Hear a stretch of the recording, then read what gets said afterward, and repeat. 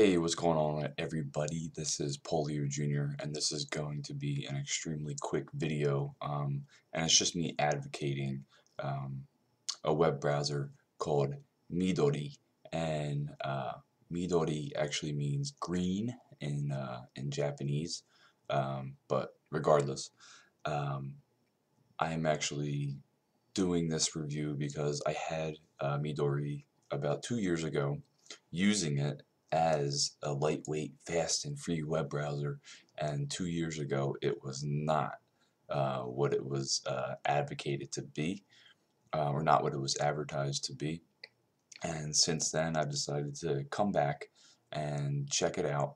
And they are exactly what they say they are now. So, um, the biggest thing, so I'm actually in Midori right now. Um, and it's midori-browser.com org and obviously you would just go to download. And so you can actually the cool thing with this is you can actually install it into your programs list or you can have it as a portable version in which you don't have to install it you can just open it directly and it'll just save everything in one little folder. Um, it doesn't look like it's designed for Mac but the one big thing that I do like about it is that it has it is open source.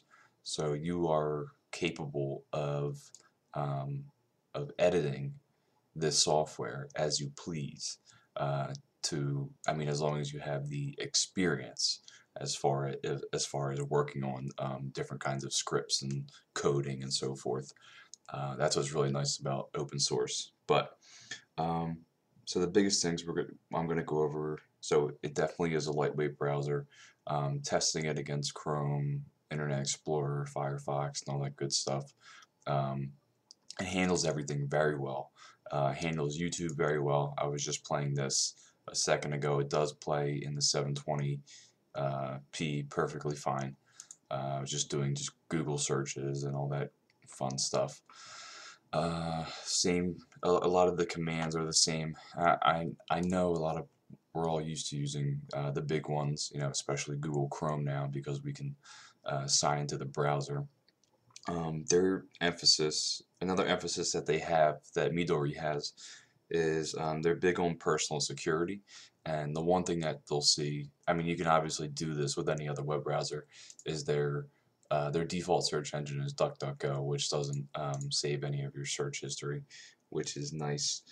Um, yeah, so it's extremely simple. Um, the layout is much, much, much easier on the eyes than it used to be. It used to be a little bit cluttered and um, like I said it's very easy to use. Uh, it's more for Windows than anything else um, but it is supported by all those other um, you know low-key uh, operating systems. But I would definitely check out uh, Midori uh, if you don't actually if, if you want to use a web browser that you're not going to um, have to wait long and that you don't sign into like for me personally, I sign into Google Chrome um, just because I like having all my bookmarks uh, being saved and all that good stuff. Um, but if you just want to have a, a, browser on where you don't really want anything saved um, and you just want to surf the web, uh, you know, without being uh, tracked by Google and clearing all your results all the time and having it be super quick, then I would highly, highly recommend um, what you call. I would highly recommend uh, Midori. So um, I hope you guys enjoyed. This is just very quick. I would really, really, really um, suggest that if you do have Windows um, or some kind of Linux operating system, uh, to check out Midori because it does support uh, it does support all of the latest uh, plugins and so plugins and codecs and all that good stuff. So, um, but that's really all I have today. I'll put a link in the description, and that's all I got. Thanks, guys.